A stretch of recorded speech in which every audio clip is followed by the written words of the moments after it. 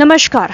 स्वागत है आपका इंडिया न्यूज़ 28 में। आइए बात करते हैं उत्तर प्रदेश की कुछ खास खबरों की। मथुरा में ट्रैफ़िक पुलिस द्वारा चलाया चेकिंग अभियान। खबर उत्तर प्रदेश के मथुरा के मसानी चौराहे पर ट्रैफ़िक पुलिस द्वारा चेकिंग अभियान के तहत दो दर्जन से ज़्यादा गाड़ियों के काटे चलान।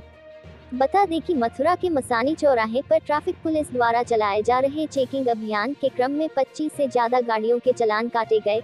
वहीं एसआई नागेंद्र कुमार ने बताया कि ऐसी गाड़ियों के खिलाफ सख्त कार्यवाही की जा रही है, जो शीशों पर काली फ़िल्म बिना नंबर प्लेट, गाड़ी बिना हेलमेट, तीन सवारी चलने वाले लोगों के खिलाफ सख्त कार्रवाई की जा रही है।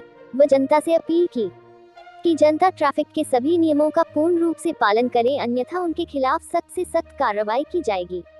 मथुरा संवाददाता ब्रिजवीर सिंह जादौन की रिपोर्ट।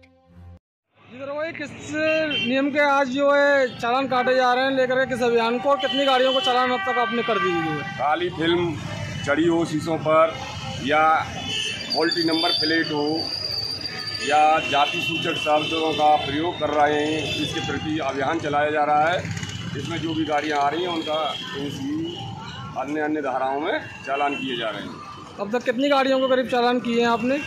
आज लगभग 20-25 गाड़ियों के चालान किए हैं जिसमें सभी धाराओं में लगभग चालान हैं।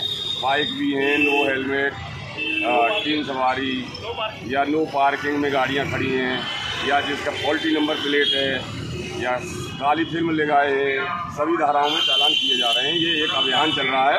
अभियान के तहत हम लोग कार्रवाई कर रहे हैं। तो जनता से हमारे माध्यम से क्या आप जो कहना चाहेंगे? हम जनता से यही कहेंगे कि यह ट्रैफ़िक नियमों का पालन करे अधिक से अधिक सभी लोग दो पहिए पे हेलमेट लगा के चलें और तीन सवारी ना चलें, फोर व्हीलर में सीट बेल्ट का प्रयोग करें और काली फ़िल्म का प्रयोग ना करें, नंबर अपना हाई सिक्योरिटी वाला ही लगवाएँ।